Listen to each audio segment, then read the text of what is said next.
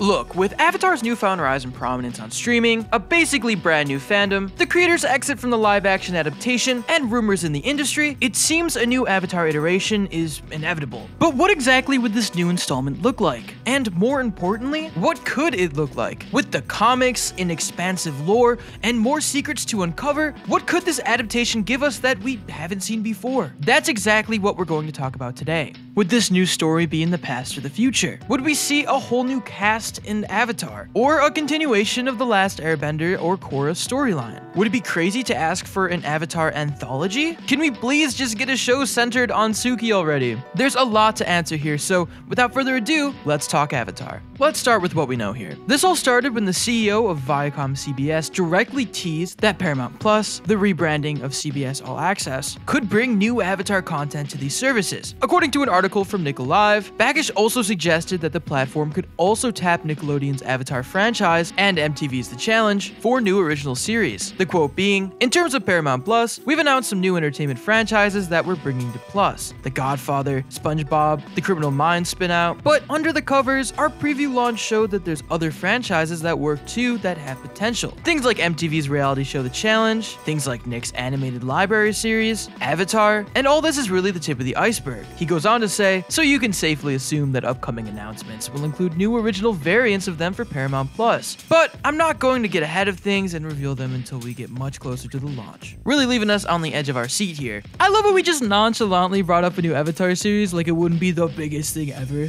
And look, okay, although this is far from confirming that a new Avatar project is in the works, it at least confirms that Nickelodeon and Viacom CBS are open to looking into expanding the Avatar universe. And to me, this name drop feels less like a general nod towards the Avatar franchise, and instead a direct acknowledgement of the series resurging in immense popularity during quarantine, with the original series and later Korra being added to Netflix, breaking records, and stirring hype for the upcoming live action series. Uh, speaking of things that have an uncertain future. Look, you may or may not know the story at this point. For a couple years now, there's been a live action Avatar in the works. It was pretty hype, but shortly after the resurgence, the creators came forward with tragic news. They would no longer be involved in the live action series, but their individual statements both implied that they would be interested in future Avatar content. Konietzko stating how he'll remain deeply involved in the Avatar universe, referring to the ongoing comics and novels, whereas DiMartino straight up said the resurgence in popularity was inspiring to see. This is great news, especially because after after Korra, they both said they didn't want to do a series on another Avatar. But hey, who said it would be a third Avatar? I mean, after all, it was Aang's story that really took off in the summer. Korra was also popular on Netflix, but didn't really reach the height of discussion or viewership that The Last Airbender did. Theoretically, and follow me here, any future animated installment of Avatar could still follow Team Avatar after the original series, and there's plenty of stories to tell. Which is my really slick segue into our next section. What exactly would this new installment look like? Again, assuming the creator creators would return for a hypothetical new series, I think the best move at this point would be expanding upon the lives of the Last Airbender characters, whether that's Team Avatar or characters that serve supporting roles like the Kyoshi Warriors. Like I said, please give us a Suki series. I'm gonna thirst over this till this happens. I'm gonna get a hashtag started, I don't care. A wonderful aspect about Avatar's world when it comes to story potential is that there isn't a need for insanely high stakes to tell a great story. The war against the Fire Nation can remain the biggest conflict these characters survive through in terms of scale But if you told me Team Avatar had to deal with, let's say, the Red Lotus in its founding years, maybe comprised of a roster that differs from the core antagonists, I would believe it, and I definitely want to see it. It just makes sense that they would have to deal with smaller but powerful forces throughout the rest of their lives. Case in point, Tarlok. Even though it would be an absolute fan service, this would also be a cool time to explore an older Team Avatar, just not in their adult years, between their childlike years and the adult years we see in Korra flashbacks. I mean, they could even expand on those flashbacks. I wouldn't be opposed to that. Swole Aang is the best Aang. But despite that, I'd love to see Aang, Katara, Sokka, Zuko, and Toph in their late teens, early 20s, aging these characters so that they're closer to the modern audience. Even though Korra already began providing more mature, complex stories for the series, nothing's stopping them from doing a similar move with the original cast. Speaking of Korra, who's to say we couldn't get an installment in the Korra era? I mean, that show was already doing exactly what we're talking about, introducing conflicts that weren't on the scale of a Hundred Year War, with personal stakes sprinkled within. I could see why people would want The Last Airbender's animated timeline to remain complete at Sozin's Comet, but Korra kinda has the perfect setup to continually explore political conflicts until they have nothing left to say. I know Korra isn't as beloved as The Last Airbender, but between new fans of both series and renewed inspirations within the creators, I feel like there's interest and potential there, delivering a story that wows people on both sides. The thing about streaming is that it's flexible for different formats and stories that may not have been accepted for linear television. With how vast the Avatar series is, coupled with the state of streaming, they don't exactly need to commit to a long-term project. Maybe one year we get, say, a new animated Last Airbender movie. Then the next year we get a limited series continuing Korra's storyline. What about an anthology series, jumping all over the Avatar universe, even going to different time periods? One episode could be on the Last Airbender Kyoshi Warriors, the next could be about Kyoshi herself. They don't even have to focus on the Avatar specifically, just stories within the universe. We could get a whole episode on what happens to Jet's crew after Jet himself kicks the bucket. I know we got the story of the first Avatar, but how crazy would it be to see the second, the immediate follow up?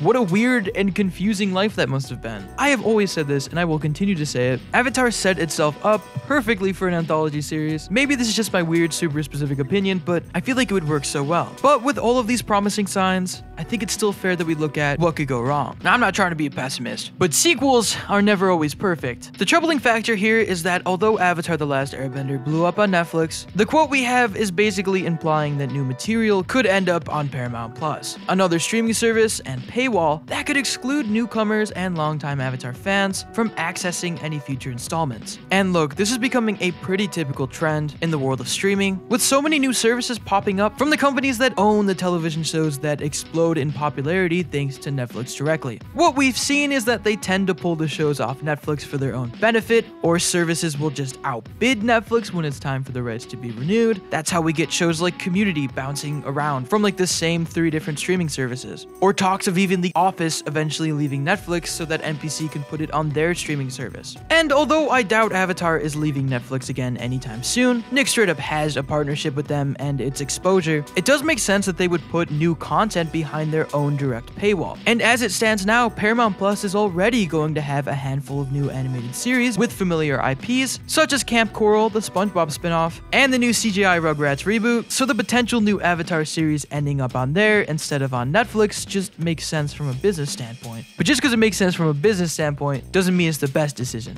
On top of that, Netflix is continually raising its prices, its most popular plan only being $1 off from HBO Max at $14. CBS All Access, aka Paramount Plus, is only $10 for its most expensive plan, so perhaps more people could go to Paramount Plus, obviously more for just animation, and be content with its offerings on there, Avatar just being the cherry on top. Viacom owns a terrifying amount of the entertainment world. I truly wouldn't put it past people to save a few bucks and switch over, or just add Paramount Plus to their roster of ever-growing streaming services. At the end of the day, it all boils down to budget and personal preference, especially if the person already has multiple streaming services, let's say Netflix, Hulu, and Prime Video, they could decide to swap out one of those for Paramount Plus. But this is too much streaming talk, let's get back to Avatar. The point is, fans are being scattered across multiple platforms, and that would not be ideal, especially for fostering growth for a brand new series. In a perfect world, it'd be awesome if any new content were on both Netflix and Paramount Plus, but it's fair to say we won't be that lucky. And if this new Avatar series is on a streaming service that not a lot of people have or just don't want to pay for, we could see the series potentially flop, despite how big Avatar is. Let's also just be realistic here. Avatar has seen a huge revival. There is a surplus of new dedicated fans, but Avatar being revived on Viacom's end is pretty much purely a money move, which means things could get ugly if history repeats itself and the creators end up not wanting to be involved in the process of a new animated installment, which would be heartbreaking.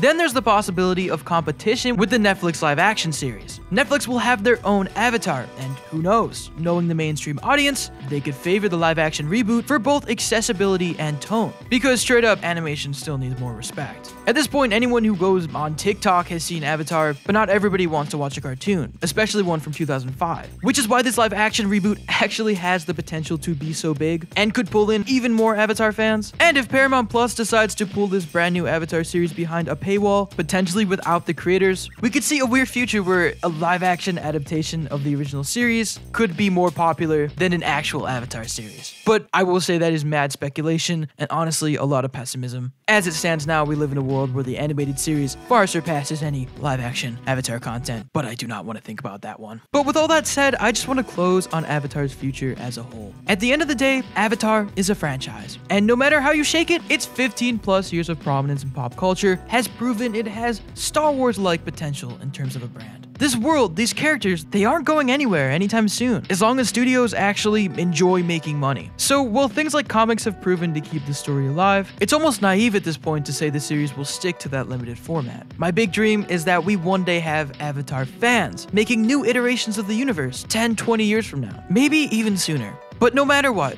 with this all taking into consideration, no matter what, Avatar's future is bright and we will one day get a reboot centered on Suki. That's right, you guys scammed. That was the point of this entire video. I just wanted a Trojan horse my want for a Suki original series. I'm gonna get it trending on Twitter, I swear to God. But that all being said, I do want to know what you guys think about this. Would you even want another Avatar series? Would you watch it? Would you hate it? Let us know in those comments down below or tweet to us at Roundtable Vids or me at Retro Nemo. If you want to consider helping out the Roundtable, you can support us on Patreon and get exclusive access to scripts and avatars, or become a member of the channel. As always, if you enjoyed this video, make sure to give it a like, share it, and subscribe to the Roundtable for more incredible cartoon content. As always, guys, I'm Nemo. This is an Avatar video, and I will see you next time. Peace.